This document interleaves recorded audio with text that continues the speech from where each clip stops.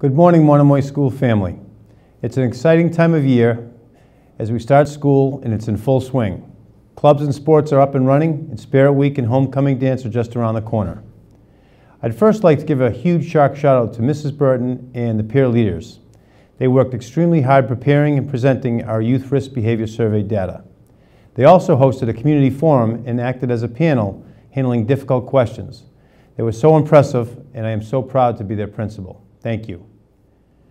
Over the past five years, we have worked extremely hard developing a philosophy and collective commitment that our school is a home away from home.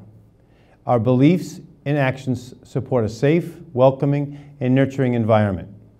You are important at Monomoy Regional High School. This year, our learning focus will be read, write, reason, and relate. Simply put, we want to challenge our students to read and write more across all disciplines at our school.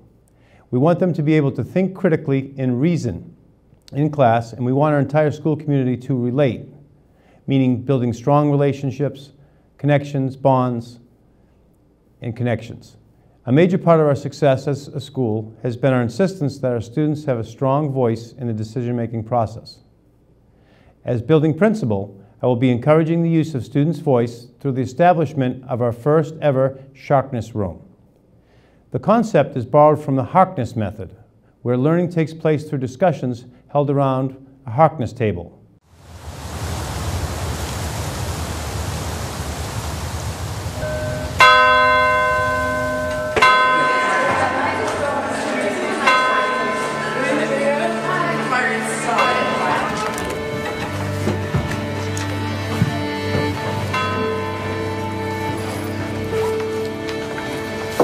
All right, we're gonna get started today.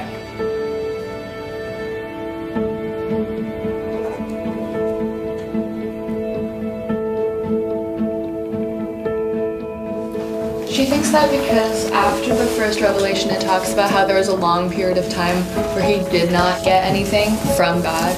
more attention that allowed him to use his like poetic skills to actually convey his message. But is are these his words? Why is it that she says that your Lord must have come to hate you? Well, I think it's because they took him to Waraqah right after the revelation. So he must have been really frustrated and ashamed in a sense that he was associated with these people that he thought were charlatans. It's kind of exhilarating in a sense. As you become more familiar with Harkness, you come to realize that learning from others rather than just one person or from yourself allows your mind to be able to explore rather than just accept. In nearly every case, yes. The students around the table are all teaching each other all the time. Wow, right, that's a lot to ask. But at the same point, if you put good people together, amazing things happen. I can't visualize. In all honesty, I remember going home and being like, I don't know how I can do math like this. You kind of get excited. Our teacher had given us the tools, but then, like, we were actually the ones who found the answer. I didn't go to a school like this.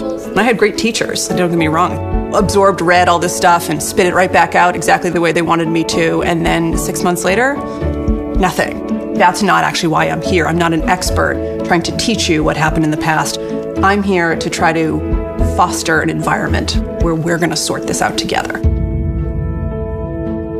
It's in the silences where you find points of reflection, where that process starts to develop and you start to unpack a little bit more of who you are.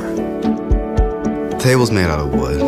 It brings us all together. We're all facing somebody, you know, so you have to make eye contact with someone, you have to talk to someone. part of the text, right? That that question. I gained the skill of listening, truly listening to somebody. I have Mr. Heron, and we're doing creative writing. And dude, one of the funniest exercises we did the other day was we were doing this fact or fiction exercise. All right. Okay, so, So yeah, this is- that makes yeah, sense. that's three over 4.5 two. two pi, yeah. Oh my god, this is We so did cool. You have to show this to your math class. I'll show it to my math class. This is exciting. yeah, three And so we basically just uh, put this rod through the, the the magnet one, just like floated through, and it was like what? I think Harkness just works. Harkness works in any class, in any subject. It's more important to learn than just get something right. It is important to me that our students and staff have access to their principal and have a voice. To me, Sharkness Table, as we will call it here, symbolizes the family dinner table. It will be a place where everyone has a seat at the table and equal say. It will be a place to hold meaningful conversations, share ideas, collaborate, and enjoy each other's company as a school family. The Sharkness Room is located in the heart of our school on Main Street. Make sure you check it out. I would like to start connecting with students immediately through cr the creation of our new Principal Advisory Council, or PAC. The PAC is open to all Monomoy Regional High School students. Our first meeting will be Wednesday, October 23rd, a day 7, JOSM A, in the Sharkness Room.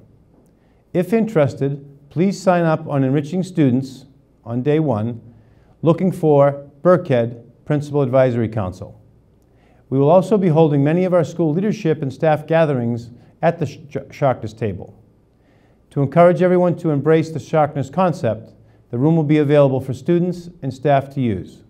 Staff may sign it out on School Dude, and interesting student groups or clubs may see Ms. Kelly in the main office to sign the room out.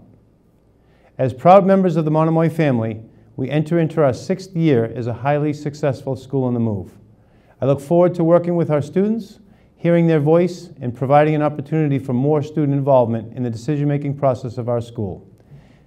We hope to see you on Wednesday, October 7th. Thank you.